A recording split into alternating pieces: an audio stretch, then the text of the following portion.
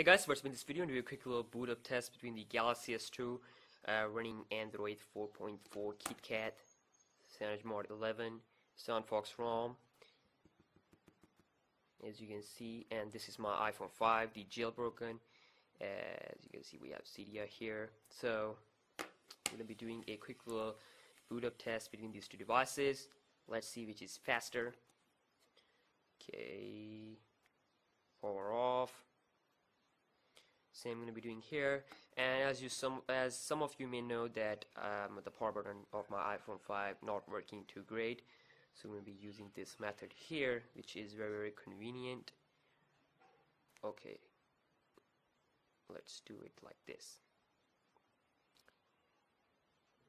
Okay so let's shut it down at the same time. One two three. Okay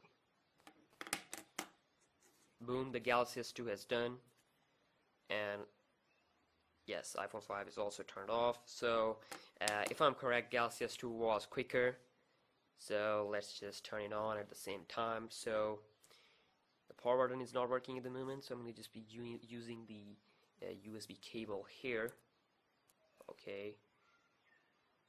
Try to do it at the same time. I'm holding. One two three. Okay.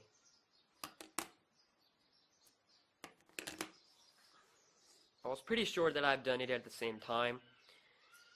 Let's see which device is faster.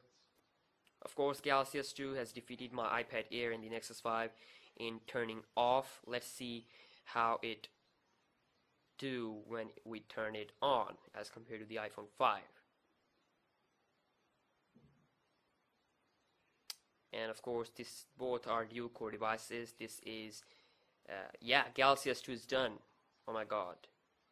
Followed by the iPhone 5 so yeah Galaxy S2 has defeated the iPhone 5 in terms of the booting speed. So yeah thanks for watching guys and subscribe for daytech videos and I will see you in the next video. Peace out